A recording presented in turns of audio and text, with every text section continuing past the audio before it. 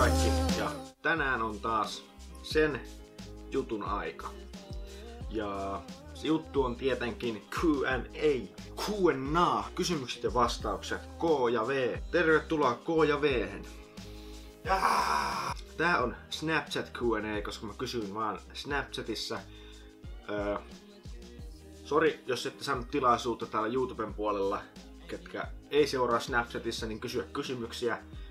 Mutta tota, jos haluat seuraavaan Snapchat Q&Aihin tai Q&Aihin mukaan, niin käyppä seuraamassa tai lisää mut kaveriksi Snapchatissa. Se on tuolla alhaalla tai sitten tässä ja tossa. Ja tossa ja tässä ja tuossa. Ja tuossa. Tämä selitän. Tosiaan täällä nyt on, mä en tiedä mitä hyvin te näette, mutta täällä on pilvin pimein. Tää voi rullata, rullata, rullata, rullata ja sieltä kuule tulee lisää, lisää, lisää. Alright, mä, mulla on tässä screen, screen recorder päällä. Ja tota... Joo, mä tiedän, mun hiukset on ihan vammaiset. Mulla ei ole mitään hiustuotteita nyt en vie niinku kotona. Niin mä en voi laittaa mun hiuksia paremmin. Mutta tota joo, mulla on screen recorder, millä mä rekordaan tässä mun ruutua koko ajan, niin näette sitten paremmin ne kysymykset. Täältä näin sitten ensimmäinen kysymys henkilöltä Linja J. Ja miksi aloitit tubettamisen? Mikä videoiden teossa kiinnostaa? Ja jos joku haluaisi aloittaa videoiden teon, niin mitkä viisi hyvää vinkkiä olisi? Aika mahtava kysymys, eli miksi aloitit tubettamisen? Mä katoin ihan sikana tubettajia silloin. Mä aloitin YouTuben kattomisen vuonna 2013 about. Mä katoin, on kattonut joka päivä siitä lähtien, paitsi sinä päivänä, kun mä olin 24 tuntia ilman puhelinta. Mä oon kattonut 2013 vuodesta tai 2012, mä en muista. Mut siitä asti, kun mä sain semmoisen puhelimen, millä pystyi katsoa YouTubea, mä oon siitä asti kattonut joka päivä YouTubea, ihan joka ikinen päivä. Se oli mun mielestä todella kiinnostavan näköistä. Mä aina, aina halusin itse tehdä videoita. Niin sitten päätin, että mikä siinä, teen videon. Ja mä motivoin sitten, pistin Snapchattiin kavereille, Instagramiin. Ja mä sain sata subia jossain paris kuukaudessa. Ja siitä se lähti sitten pikkuhiljaa nousuun. Jos joku haluaisi aloittaa videoiden teon, niin mikä olisi, niin kuin, mitkä olisi hyvät viisi vinkkiä?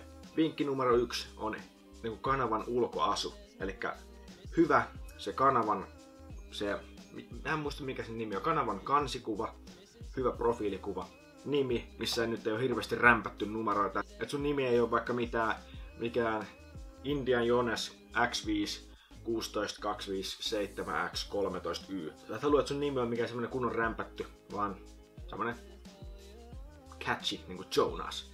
Jonas! Jo, jo, jo. Toka vinkki on oma peräisyys, koita keksiä omia ideoita. Sä voit ottaa toki inspiraatioita, niin kuin minäkin otan, pakko myöntää, otan inspiraatioita muilta tubettajilta, mutta sitten tee kuitenkin ne videot omanlaisiksi tai sillä niin kuin, sillä.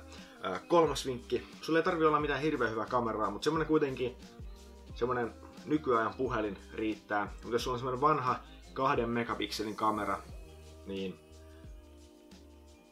mä, öö, niin kuin, toki sä voit tehdä videoita sillä, mutta se, ne ei ehkä menesty niin paljon, ellei ne ole tosi humoristisia ja tehty silleen, että joo, täällä on Markku ja mä kuvaan vlogia mun 2 megapiksel kameralla. En mä tiedä. Neljäs vinkki. Öö, tee videoita mahdollisimman usein. Hyvä munna sanoo, kun mulla tulee niin kuukauden taukoja. Mutta alussa varsinkin videoita joka viikko ainakin pari joka viikko se, ainakin se vähintään yksi, jos saa paria tehtyä. Paras olisi, että tekisit joka päivä, mutta ei aina ole aikaa tehdä joka päivä. Se vie tosi paljon energiaa ja aikaa. Ja sitten viides vinkki. Viides vinkki. Viides vinkki on tee mistä tykkäät. Tee mitä tykkäät tehdä. Älä pakota ittees tekemään mitään, mistä et tykkää. Tietenkin sä vois saada siitä näyttökertoa, mutta sitten taas sä tehdä sitä varmaan hirveän pitkään, koska sä et itse nauti siitä. Mistä tulee nimi Jonas? Aivan mahtava kysymys, Linja J. Se tulee siitä, että kun mun serkut, jotka on norjalaisia, kut, ää, ne kutsuu mua nimellä Jonah, koska ne kuitenkin puhuu suomea, mutta ne osas englantia silloin lapsena. Ja ne tykkäis kiusata mua sillä, että ne kutsuu mua Jonas, koska englannissahan nimi Joona sanotaan Jonah. Ja sitten ne jotenkin siitä muotoili nimen Jonas. Ja, ja sitten mä muistin, mä, mä oon aina pitänyt sillä hauskan läppänä Jonas. Ja se kuulosti kuulut nimeltä, kuka, kenen, oikeastaan kenelläkään ei ole tämmöistä nimeä YouTubessa eikä missään. Mä sitten pistin se, koska äh, seuraava kysymys tulee henkilöltä Pirita Julia. Kummista tykkäät enemmän, kissoista vai koirista? Tähän mä oon vastannut varmaan mun jokaisessa Q&A-videossa ja mulla on jo kolme Q&A-videoa mun kanavalla. Kolme. Äh, mä koko ajan näytän neljää sormia, vaikka pitäisi sanoa jotain muuta. Mutta varmaan kissoista. Mä oon ehkä sanonut muissa videoissa, että koirista. Mutta äh, no en mä oikeastaan tiedä, kummista mä tykkään enemmän. Kissoista joskus, koirista joskus. Molemmissa on hyvät ja huonot puolet. Mutta tykkään joskus kissoista, joskus koirista. Mä tykkään molemmista. Mä tykkään molemmista. No sitten on Nikolt tullut snappia. Katsotaan, jos kysymyksiä tullut vai onko jotain vaan jotain randomia. Oletko kateellinen... No. Oletko kateellinen kellekään mistään? Sanoo, kysyy Niko. Nyt kun miettii, niin mulla, mulla on silleen kaikkea mitä mä haluaisin. Mä oon tosi vaatimano ihminen, mä en hirveästi halua tai vaadin mitään eikä mitään tällaista. Öö, pienempänä mä olin tosi kateellinen kaikesta, että jos jollain oli vaikka joku Pleikka 4, mulle ei ollut Pleikka 4, jollain oli Pleikka 3, mulle ei ollut Pleikka 3, niin se, semmoista asioista mä tulin kateelliseksi. En mä tiedä. En mä oikeastaan oo hirveän kateellinen mistään. Mikä on sun lempikarkki? Ja PS, oot paras tubettaja. Mun lempikarkki on semmoset isot pääkallot, semmoset kumiset isot pääkallot. Ne on parhaita. Kiitos, että sanoit, että mä oon paras tubettaja. Mahtava. Mikä puhelin sulla on? Mulla on OnePlus 5T. marraskuussa julkaistu uusi puhelin, törkeä iso, jos näette. Mulla on, aika, mulla on semi isot kädet, niin kato, niin koko käsi. Tää on niinku mun melkein pääkokoinen. Hullu. Sitten tulee kysymys henkilöltä Mark. Millaista musiikkia yleensä kuuntelet ja jos voit nimetä tämänhetkisen lempparibiisin, niin mikä se on? Mä kuuntelen ihan kaikenlaista musaa. Ehkä mun lempityyppinen musa on